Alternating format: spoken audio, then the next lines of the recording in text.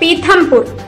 औद्योगिक क्षेत्र के सेक्टर एक में आयसर चौराहे पर गुलाब सिंह 21 वर्षीय नामक युवक को लड़की के परिजनों ने लात घूसों से पिटाई की। युवक पर लड़की भगाने का आरोप था।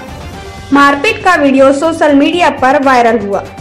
प्रेमी युवक को लड़की के पिता ने बातचीत करने के लिए बुलाया और फिर बीच बाज़ार में लड़की के पिता और अन्य साथियों ने लात घूसों से पिटाई करी।